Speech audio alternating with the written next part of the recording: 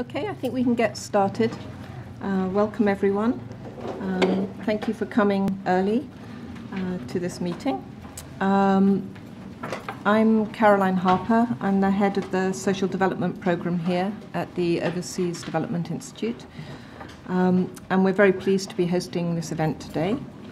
Um, along with our partner, uh, UNGEI, the United Nations Girls Education Initiative.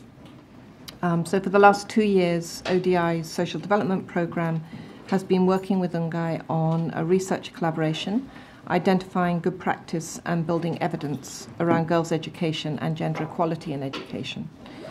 Um, and today we'll unpack some of this research as well as discuss more broadly what works well in achieving targeted changes to girls' education and how this can contribute to their empowerment and also what evidence is needed to understand and improve the gender dynamics of education.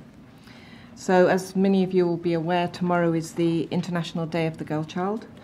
Um, the 2011 United Nations General Assembly de- declared the 11th of October as the International Day of the Girl Child. Um, and this year the theme is Girls' Progress equals goal, go, Girls' Progress equals Goals Progress a global call for data. Um, so this theme does highlight priority gender issues in the Sustainable Development Goals, and also the large gaps in data in data about girls in general. So I'm going to um, introduce our panelists. We're really delighted today to have some a gathering of people who could be said to be some of the world's experts on education and girls. So fantastic panel, and we very much appreciate them all coming. Um, speaking first, we have Nora Fyles, who's the head of the Secretariat for UNGEI, and has flown into London today to join us for this event. So thank you very much. Um, we'll then hear from Gertrude Kabwazi, um, who is uh, online here, um, and um, we'll hear from Advancing Girls Education in Africa, which is known as Age Africa. Uh, Gertrude is in Malawi, and we hope that the video link will will take us through the entire morning without any failure. Um, if it does drop out, please bear with us. Uh, next, we'll hear from Amy Parker, who's an education advisor with Plan International at the end here. And our fourth speaker is Dr. Elaine Un- Unterhalter, who's Professor of Education and International Development at the Institute of Education at the University of London. So once we've heard from our four speakers, we'll hear from Dr. Rachel Hinton at the end of the, the table here as a discussant. Rachel's currently works for the Department for International Development as a senior social development advisor, and she leads the department's education research program. Um, so I think you'll agree with me, it's an excellent panel that we've um, the pleasure to host this morning. Um, so our panelists will give a short presentation. We'll then have comments and questions from our discussant, and then you'll have the chance to answer questions.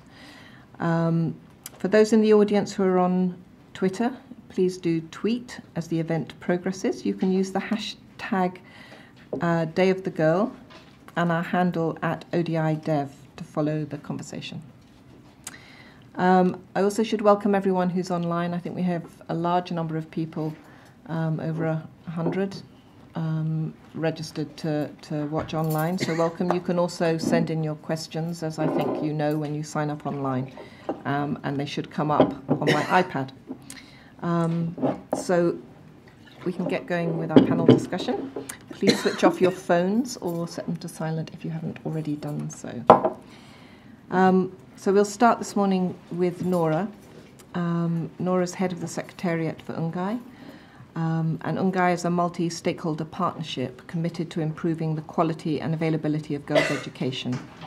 Um, Nora joined the UNGEI Secretariat um, in 2012.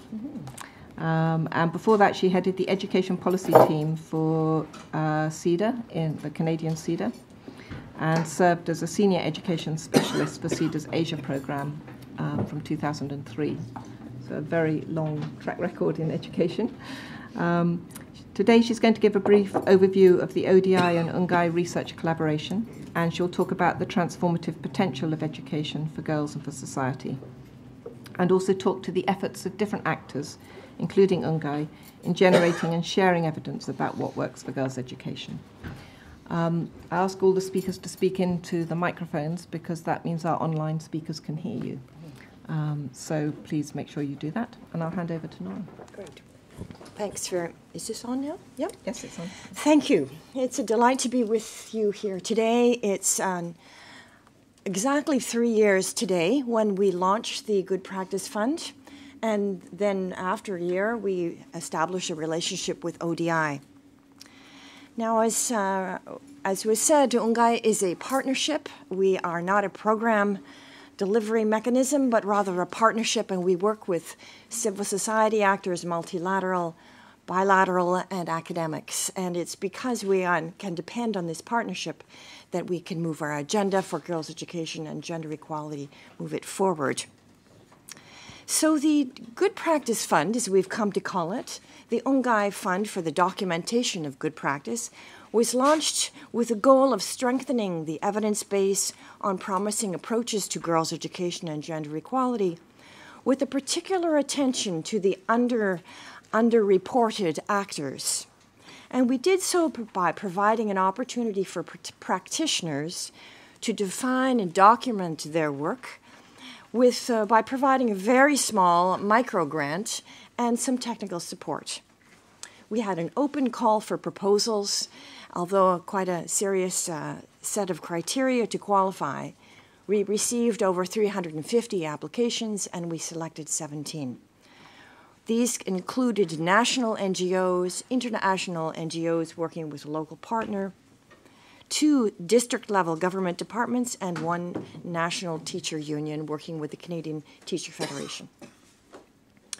We, we encouraged a critical approach for partners to ask difficult questions of their own experience.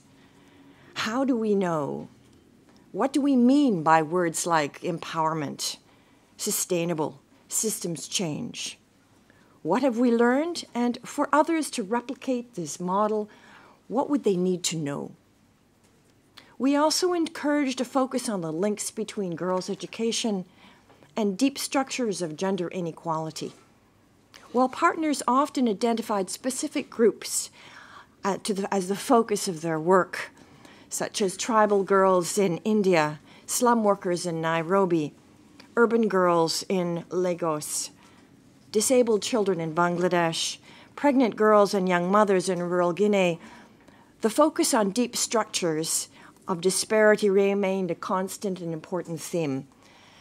And the group spoke about their ability to push against these deep structures, even if they were not able to actually shift them a bit. The key findings of the case studies are on the website, so I won't take you there.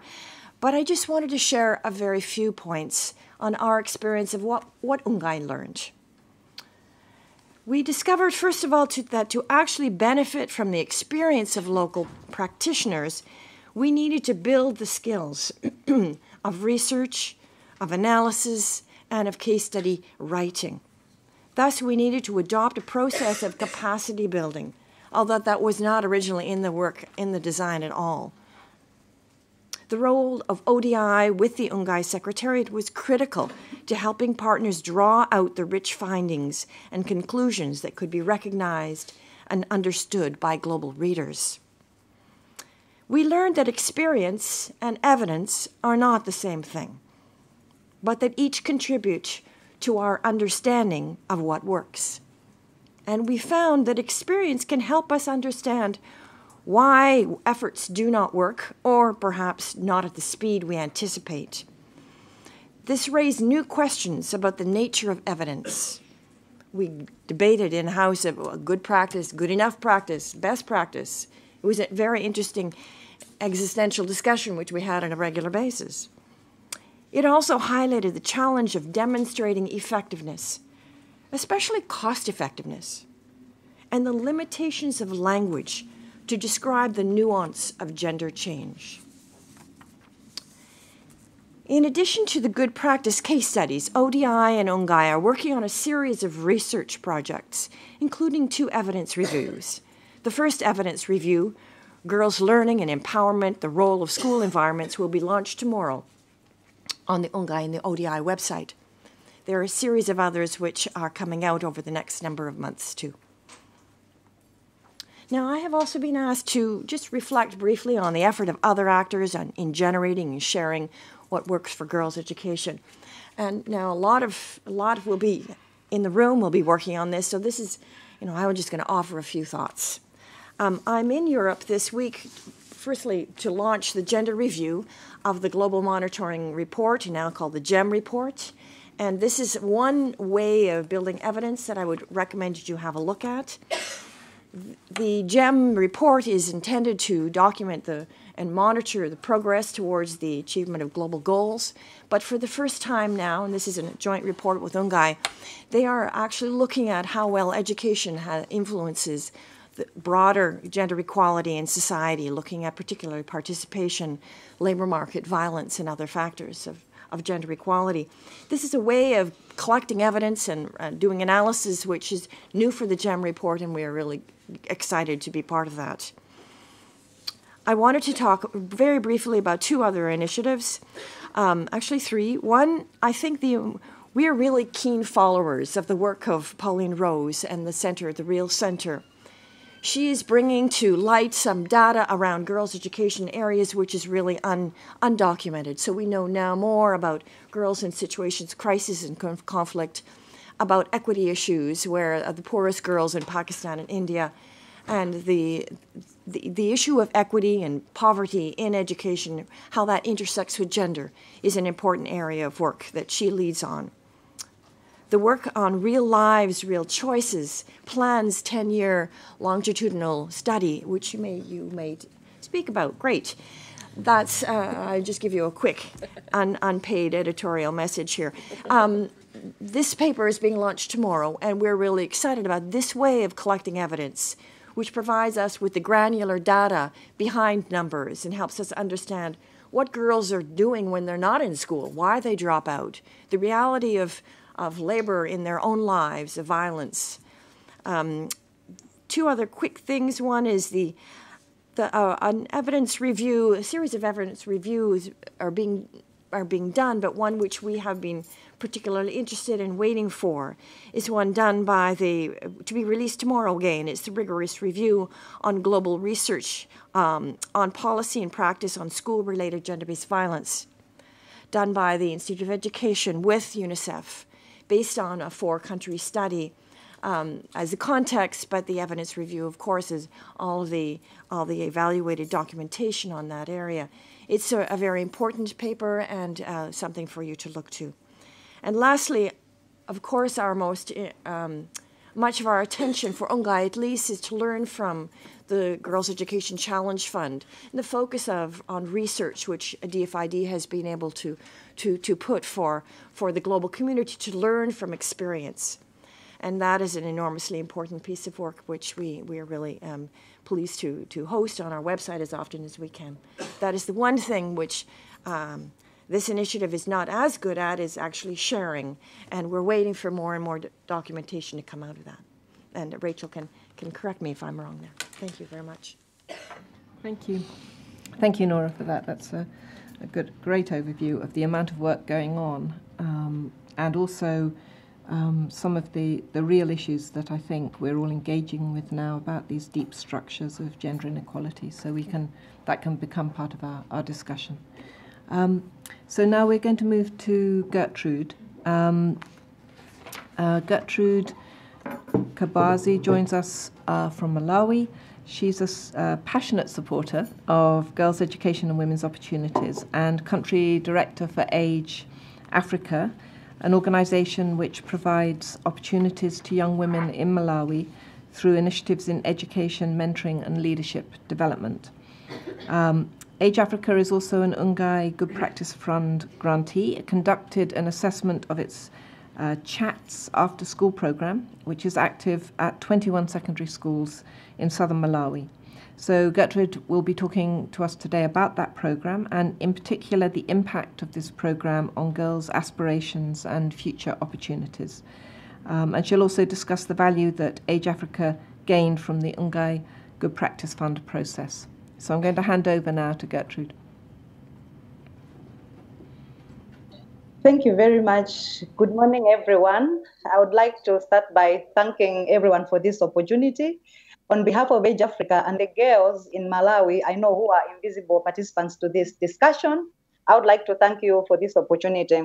I would like to start by sharing with you uh, our Malawi context. Uh, Malawi currently is uh, the poorest country in, in, in the world and uh, also has been challenged by a drought, which uh, we experienced last year, and now the effects we're experiencing them now because there's uh, food shortage in the country, which uh, also is uh, affecting our programming as an organization and other uh, players in, in, in Malawi. We work with girls in the rural communities, and girls supplement labor in their households.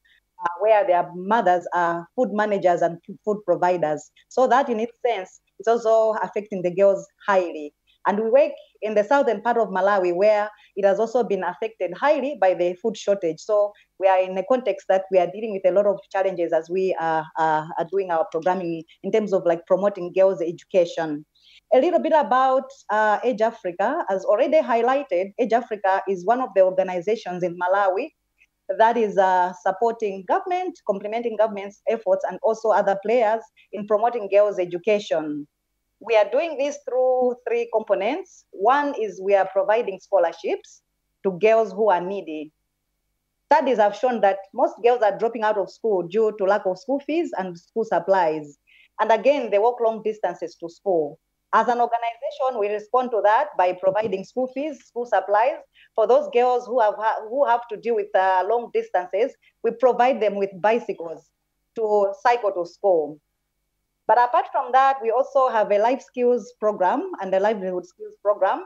Under the life skills program, we want to uh, promote the girls agency because we have learned over a period of time that providing school fees only addresses the hardware part of the needs, and we yet we need to also uh, deal with the software part of the girls' needs. So the life skills is uh, providing that kind of support in terms of like uh, uh addressing the girls girls issues holistically. We are in 24 schools now and uh, in five districts, and we were targeting more than 1,200 girls in our programming.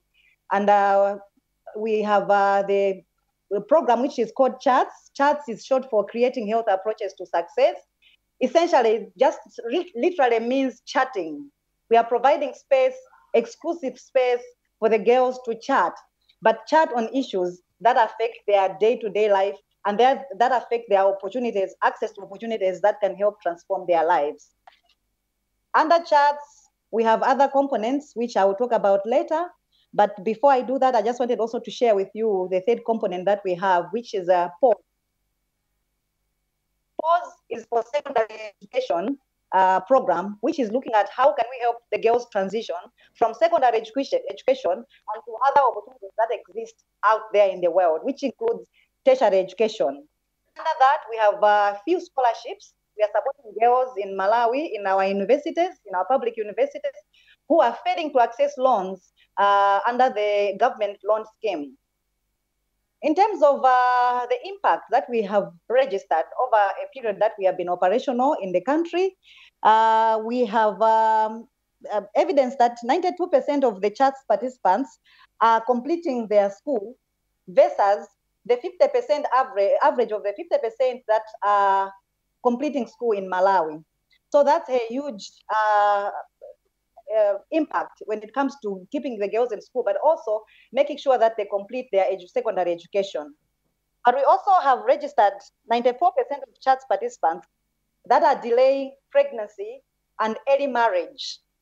And this, this is also in comparison to the national statistics of uh, more than 50% of the girls who are dropping out of school due to pregnancies or entering marriage at an early age.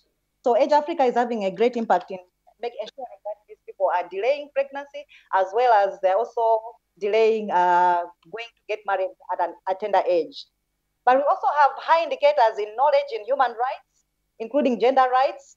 But also we have registered, we have noticed and observed, and also there's evidence of girls uh, building up self-esteem, uh, the CHATS building girls' self-esteem, but also leadership skills as well as future planning skills uh, among the chat chat participants. This has been uh, registered over a period of time that we've implemented chat.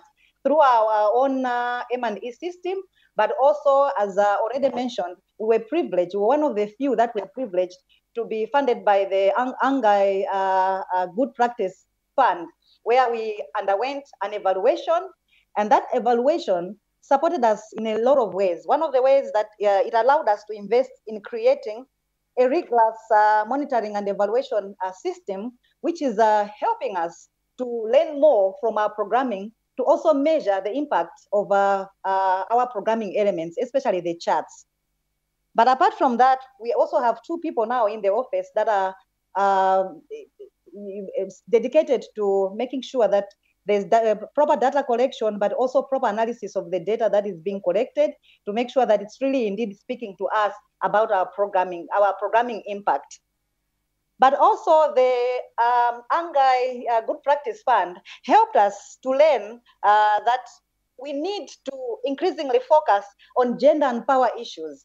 It's not enough to provide information to the girls on the skills that they need but it's uh, we need to really really go down to deal with the underlying issues uh, of how it, uh, it how it, how how they are featured, how they are position, positioned in community and in the in society, and no matter how, sometimes they can be empowered themselves, they can have um, um, the agency, but they operate in a context which does not provide is not ready to provide that kind of space for them to exercise their empowerment.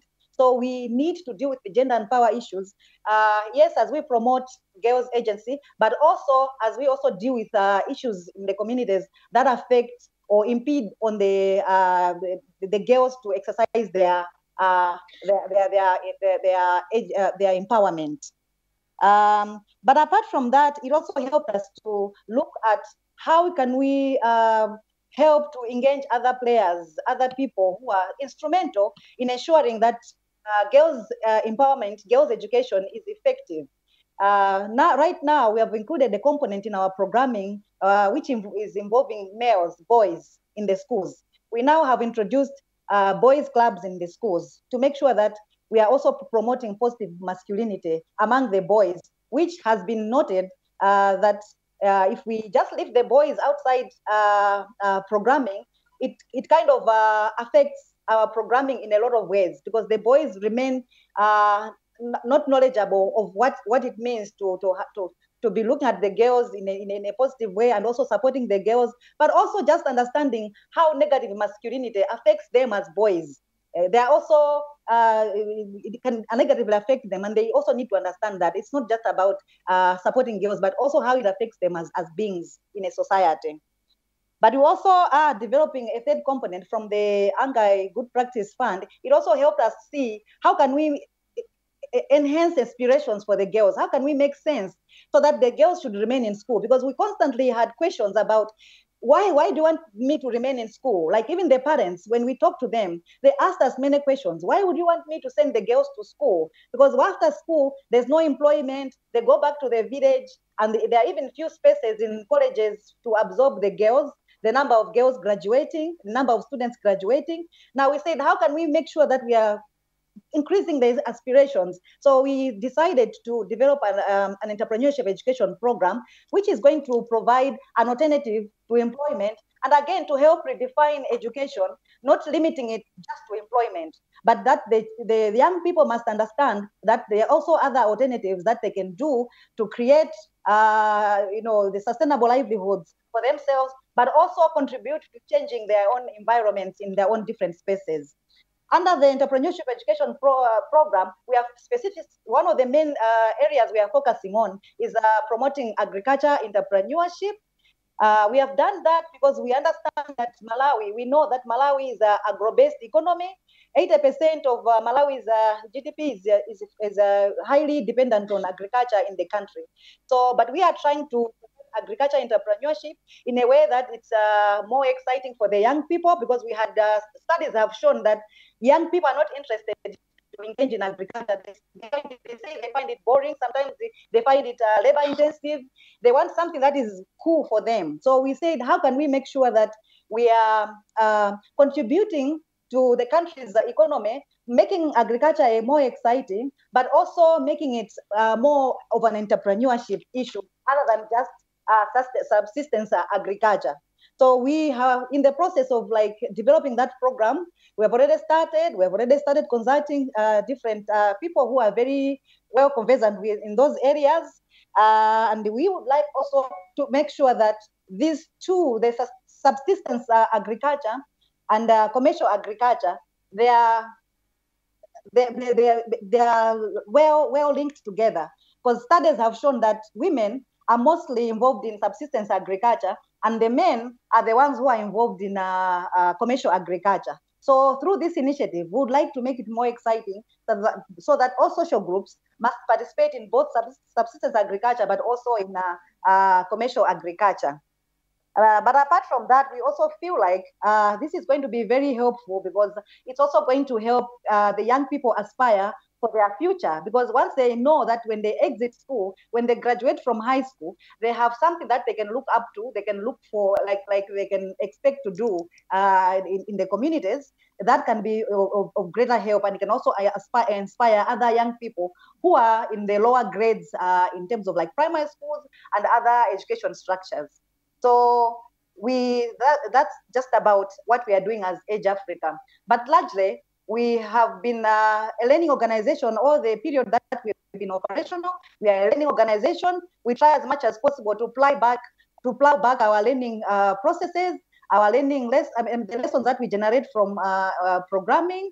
But also we uh, want to make sure that uh, data collection and measuring the impact is not just done by Age Africa, but all stakeholders must also engage in uh, uh, following or monitoring or evaluating the changes that uh, we are expecting from the girls. The communities themselves must also participate in monitoring the change. The girls themselves, they also must participate in monitoring the change. So right now, we are also in the process of strengthening our community engagement component to make sure that the community at all levels are moving along with us.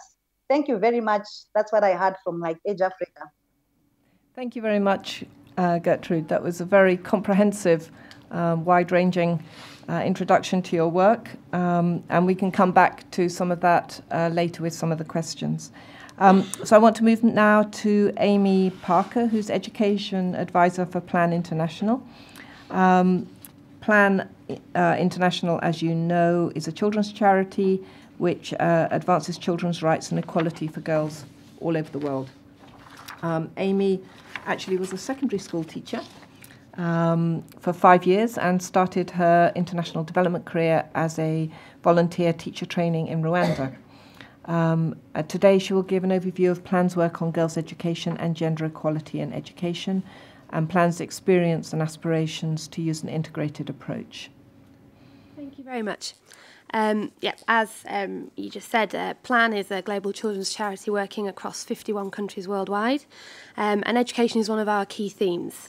Um, we firmly believe in the right to education for all children, and we recognise that girls, and especially adolescent girls, are often the first to lose this right.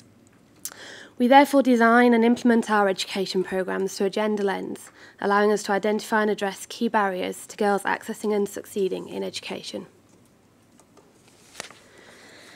Early this year, we actually um, took some time to relook at how we define quality education. Um, and the diagram shows a little bit um, how we conceptualise this. Um, the circles surrounding the Education as a Toolkit for Life signify the competencies that we believe equate to a quality education. Um, and historically, Plan really does focus on the sort of emotional intelligence competencies and the high level competencies. And we work particularly through things like girls' clubs um, to raise um, life skills, confidence, communication, leadership skills. But we do have a similar approach to raising academic competencies. An example would be um, study groups in Sierra Leone and through um, peer learning group for girls um, in Cambodia. We're also looking to increase our vocational um, skills education, and we specifically try to focus on addressing stereotypes for girls and young women um, entering the workforce and encouraging support for girls to enter non-traditional female roles. Surrounding the um, circles are the conditions that we believe need to be in place to um, enable quality education for girls. With hardware, plan supports construction of schools, but ensuring that they're gender sensitive and girl friendly, so things like segregated um, wash facilities and menstrual hygiene management support. With software, we're looking at the teachers and teaching skills there, and we focus very much on gender responsive pedagogy, but also around things like classroom management and corporal punishment. Um, we recently led a qualitative research um, piece in Mali around corporal punishment, and it's something that we've been working on for many years in the country, but we're still struggling to gain any sort of traction in it. And digging down really sort of showed um, just how complex the nature is around the fact that boys are generally still getting beaten harder, but girls are getting punished more frequently because they're turning up late at school still and that they're not learning their lessons, so to speak. But then, as sort of the, the panel, panelists before me have sort of spoken, it's around trying to dig into those deeper complexities. Um, we and it does also lead on to nicely the work that we do around social and cultural norms and beliefs. Um, this is an area that we work closely with communities and local leaders to analyse and address barriers to girls' education and promote positive um, behaviour around allowing girls to access and attend regularly and complete their education. Looking at governance, um, we work very strongly with schools and communities to, pro to promote participatory and inclusive effective school governance. Um, we look to um, actively seek out girls to um, work on student councils um, and to use things like um, scorecarding to really hold um, duty bearers to account um, with the provision of quality education. We do bring this up to a national level and international level um, with regards to youth advocacy. Um, one example actually would be in Malawi, where our Malawian youth advocates have succeeded in getting the marriage bill passed that raises the age to um, the age of marriage to 18, and they're currently working on a constitutional thing to make sure that that uh, marries up to the uh, bill that's just been passed. Okay, we've also just developed um, a theory of change. This is its first public outing, so um, I'd be quite pleased to get some feedback on it. um, we are looking um, to see girls progressing through education and reaching their potential emotionally, socially, and intellectually. so that they're able to make informed choices about their life and to achieve their best possible um, life chances. And as with the um, conceptual model beforehand, it very much um, signifies a holistic approach to girls' education. Um, with the girl firmly at the centre. Um, and then with all the different levels influencing and mutually reinforcing her educational outcomes. I'm just going to use one example as to how we, we see this working. Um, school safety has been um, an area of importance for Plan for many years, and we've been working to bring um, we've been working to bring attention to and to eliminate corporal punishment, sexual violence, and bullying in and around schools. And we always apply a gender lens to this, recognising that girls are vulnerable to abuse by the very people who are supposed to be protecting them. And so we work with girls, boys, schools and communities to combat these issues through things like teacher training, um, through introducing codes of conduct um, and positive, positive masculinity work with boys, and then also um, having wide-ranging campaigns at local, national and international level. With the aim of ensuring that the school environment is friendly and um, protective and then enables girls to achieve. Um, and then the arrows really show how we look to analyse all of these levels at programme design and to then continue to review the different influences throughout implementation using effective monitoring, evaluation and learning. So finally, what have we learnt? Um, you've probably noticed I'm a bit of a pictorial person, so you've just had lots of different diagrams. Um, we had a long-running um, DFID-funded um, programme called Building Skills for Life, um, which focused on increasing the number of adolescent girls enrolling in and completing quality primary and lower secondary education in seven countries. And this diagram um, illustrates uh, findings, final findings, um, and I think it does illustrate quite nicely um, a little bit where we're at with girls' education and sort of where we need to be looking to reinforce it. Um, we do know that a holistic approach is absolutely necessary. Um, we need to be working with different aspects that influence a girl's educational experience. Um, in this programme, for example, we work to influence positive change in education, gender, sexual reproductive health rights, rights and protection. What we also know is that we need to get better at carrying out detailed power analyses right at the beginning of, of any programme design. Girls' education touches on complex power relationships, um, threatening the status, quo, the status quo, including girls' position in society, family roles and responsibilities, and the value placed on different um, roles. We also know that um, that the progression of change, as everybody in this room I'm sure knows, um, um, is different and slow. Knowledge is easier to build, attitude a little bit slower, and behaviour change takes a long, a long time to change.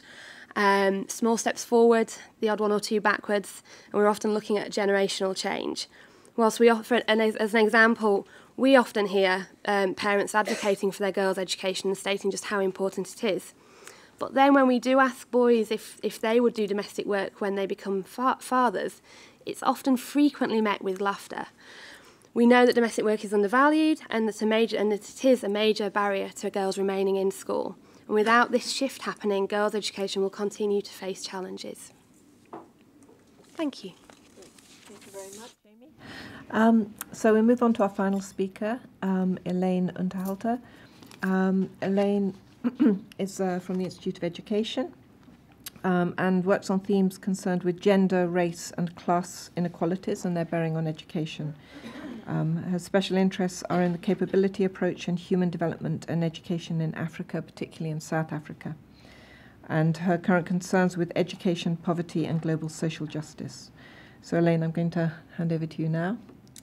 Okay, thanks, Caroline. And uh, again, it's uh, really nice to add my voice to those of the others of uh, a, lovely opportunity to discuss issues which are very close to my um, interests and engagement.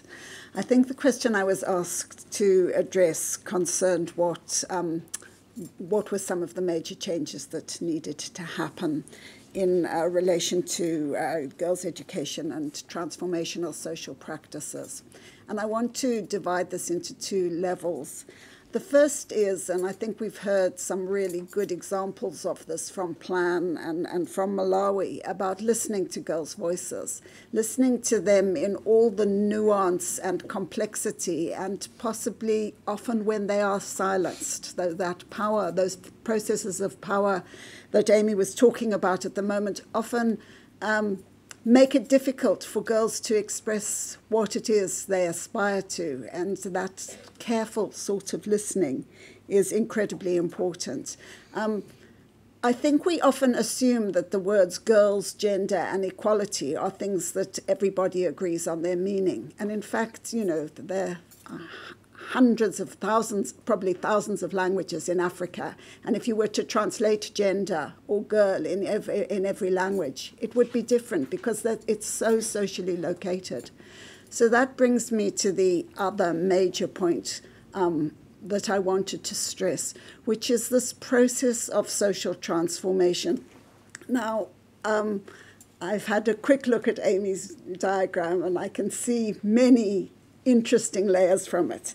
In the UNGEI process, there's many, there's the sense of how do you address structural inequalities. The, but I think what's surprising to all of us, and you know, we've worked on these issues, many of us, for decades, is how hardwired into societies um, all societies is misogyny, violence against women, how the very institutions that are oriented to providing health or education are often reproducing those deep, deep seated gender inequalities. And so, while it's very important to start at the level of girls and communities and listen to them and keep their voice and representation constantly in play, it's also terribly important to undertake that deep work of looking at how institutions reproduce gender equality, inequality and connecting up all those agencies um, the study that Nora mentioned of school related gender based violence, which I and a number of my colleagues at the Institute of Education worked on the rigorous review of literature to generate, pointed out how disconnected so many initiatives are. And this good, the UNGEI's Good Practice Fund is warmly to be welcomed. It's a wonderful um, beginning, um, as is this attention to norms and um, uh, changing attitudes because when I uh, led the uh, team that looked at the rigorous literature review for DFID about four years ago, we found that there was very little research on changing norms and attitudes. It was one of the gaps. There'd been a huge literature on cash transfers, on building schools, and this area was under research. So this is warmly to be welcomed. But what we know too little about is how all these other layers connect. Um, so there's a very idealistic spin to Amy's diagram, but actually, what is disarticulating things is very much needs to be investigated.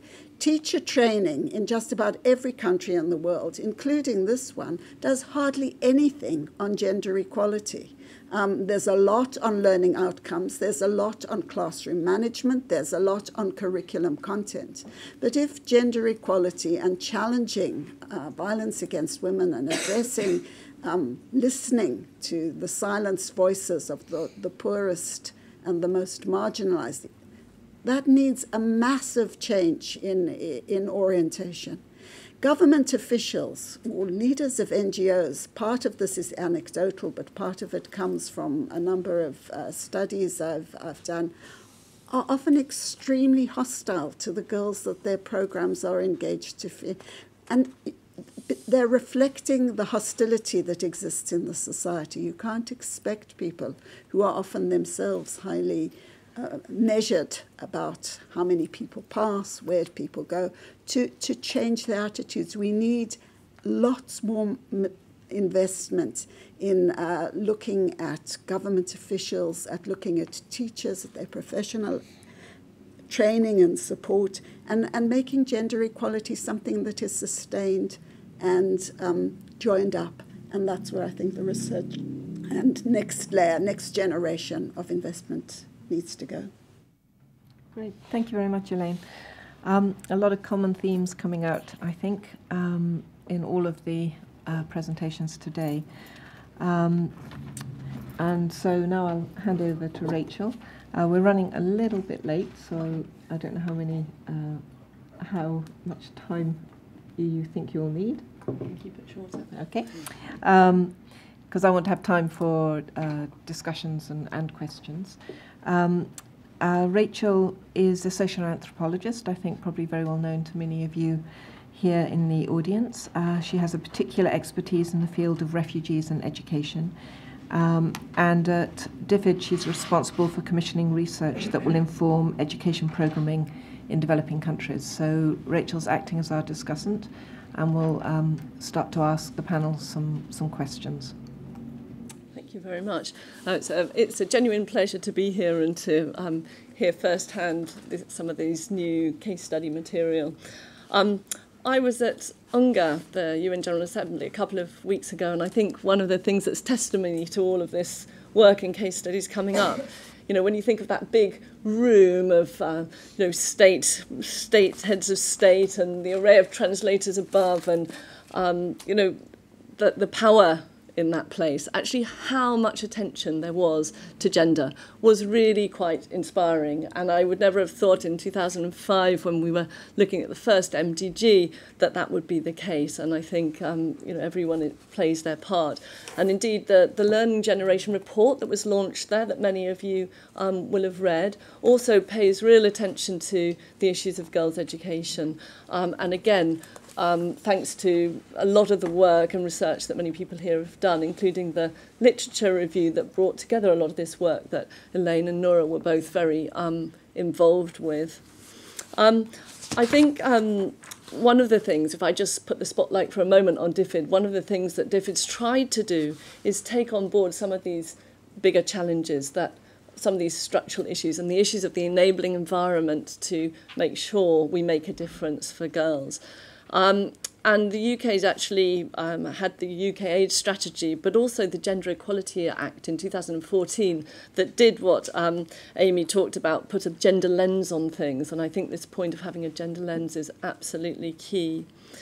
Um, and we've talked a little bit about um, the Girls Education Challenge Fund as well, and I think that has been really important to looking at what Nora talked about, which I love that phrase, the deep structures of disparity. And I think um, that's something that we need to continue to do in the research.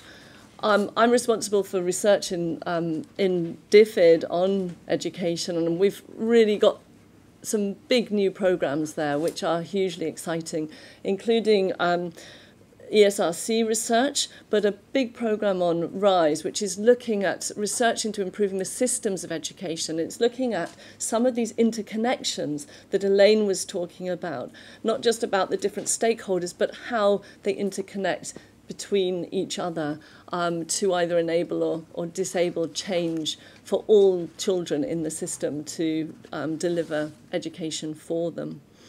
Um, so I think just in the interest of interest of time, um, I'll I'll skip on to just just thinking about a few of those um, issues that have come up in those presentations, and I see six things that we've heard this morning um, really come to light. Um, the first was the financial barriers question, and I think um, Gertrude in Malawi there talking about scholarships is a nice example of addressing that. I think the communications and addressing attitudes has been huge as the second issue. The chat program is obviously one that brings up a chance for, for girls themselves to talk about those barriers. Um, the girls' clubs that Plan talked about. I think then the third on structural inequalities um, that we heard about and that link into things like early marriage that Gertrude was, was speaking of there. The GEC programme has a fantastic Theatre for Change initiative that also links into this issue, trying to address this. Um, and the institutions also addressing those, um, reproducing those deep-seated inequalities. Engaging boys and men is something that I think um, DFID could, would acknowledge we haven't probably done enough of, and I think that's something that um, bringing in all of those with power into the equation has to be something that we do. And I think Afghanistan programs, the Stages program, um, actually is trying to do this. And it also responds to Elaine's um, question or challenge to all of us about are we helping teachers at the initial stages of their training when people are first interested in going into um, being the leaders for children um, and their future future lives um, how, what are we teaching them about gender inequalities? Are we putting that onto the agenda? And I think that's a really interesting um, program in Afghanistan there, trying to do some of that. The, the fifth thing is about raising aspirations, and there's some extremely exciting new research coming up. Actually, um, some of it in behavioral economics as well. And it's interesting bringing in a whole group of academics who really haven't engaged in the past much with education research. And I think it's quite an exciting time for education when we've not only got researchers from anthropology and from social psychology, but we've now got a broader group of researchers coming in from governance, from political science, and from um, economics. And I think we should welcome this opening up of um, the space for us to take so many different lenses to the challenges of getting all children learning. Um, and then the last thing I think is the accountability question. Um, I think plans work there that were mentioned very briefly about scorecards and bringing in communities into looking at accountability is huge. Um, DFID invest um, an awful lot of money in education program. We've supported 11 million girls over our last five years in our bilateral programs. Um, but we know that a lot of resources don't get to where they're needed. And we know that often it's the girls who are those who suffer most when resources um, leak out of the system in a multitude of ways. So with that, I think it'd be nice to just um, dig a bit deeper and ask a few challenging questions to, um, to our panelists here. Um, I, I also would say that I think that it's great having the case studies um, and getting that depth. And as an anthropologist, of course, living and understanding your community has, is, is the starting point of any piece of work. But I also would say that we haven't done enough at scale with, you know, of, of initiatives that really can be scaled. Part of that is the affordability issue that several panelists brought up. But it's not just that. It's again about the institutions, the power, the politics. Um, and I also think we haven't done enough over the long term. So Young Lives, for example, is a fantastic longitudinal program of research that helps us track girls over time um, and look at those difficult points um, where they may drop out. Gertrude talked about the transition into secondary, but there are many different um, life points that mean girls may, may not continue in um, to achieve the, the kind of qualifications or the life skills they need for the future. So, four things that seem to me to be jumping out here that we perhaps have still got big challenges in, and I'd really welcome hearing what the panelists think. The first is about the synthesis of all this. So, yes, we've got you know, the literature reviews, DFID's paid for a lot of this. We've got case studies, um, we've got best practice. But for the policymakers who are sitting in a country in Sierra Leone or in Mozambique or in Nepal, do they have access to that? And do they have it in an accessible form that is meaningful to them at the right moment in the policy decision making process? And do they know how to access the financial resource that would go behind um, a national plan? And what more can we do to, to make that accessible? My second question is about the research tools. Um, we've heard that there's lots of different initiatives here that are really making a difference to children. But do we have the diagnostics for that Nepalese policymaker to decide which of all of these fantastic initiatives they should take on board, they should fund, and they should take to scale? The third thing is about the political economy. Um, clearly, to make the success that you have in these, in these studies that have come out, there have been successes in shifting an enabling environment to make this possible. So, what, what did you do? What were the um, if you like, the factors for success that made that possible. And my fourth question is about systems level change.